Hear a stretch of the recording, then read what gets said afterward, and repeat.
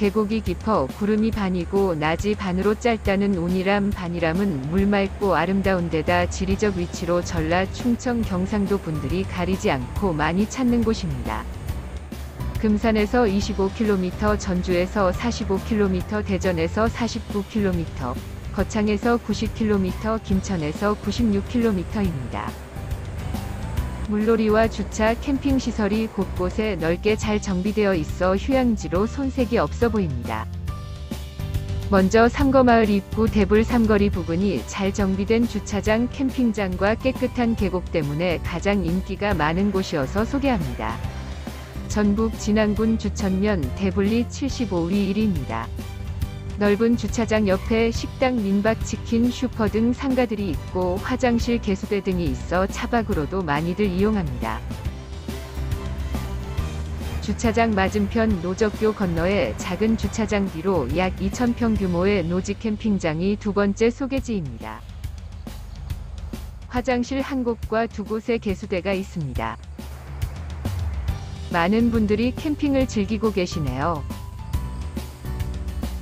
캠핑장 끝부분입니다.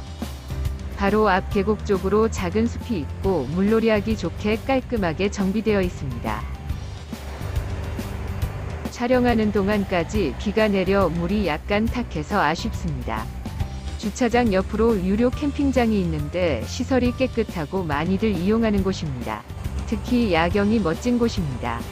슈퍼 사장님에 따르면 노지 캠핑장은 올 가을에 재정비한다고 하며 계속 무료로 운영될지는 미지수라고 합니다.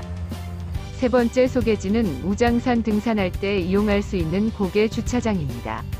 전북 완주군 동상면 신월리 857위 1위입니다. 대불 삼거리에서 전주 방향으로 8km 고개 정상입니다. 혹 운이람 반이람 계곡 쪽으로 놀러 갔는데 운 없게 너무 붐벼서 주차와 야영지를 찾기 힘들 때 서브로 이용하시라고 소개해 봅니다.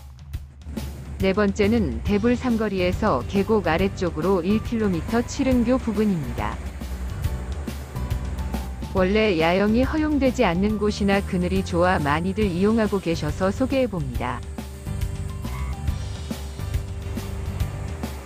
다섯 번째 소개지는 무지개다리 부근에 있는 넓은 자동차 캠핑장입니다. 대불 삼거리에서 계곡 아래쪽으로 2.3km입니다. 자동차 캠핑장에서 300m 내려가면 유료 캠핑장 옆에 넓은 주차장과 생태숲이 있는데 원래 야영이 허용되지 않는 곳이나 이곳에서도 야영하는 분들이 많이 있네요. 운이람 반이람은 워낙 많은 분들이 찾는 곳이라 계곡과 기력 곳곳에 주차 공간들이 많이 설치되어 있습니다.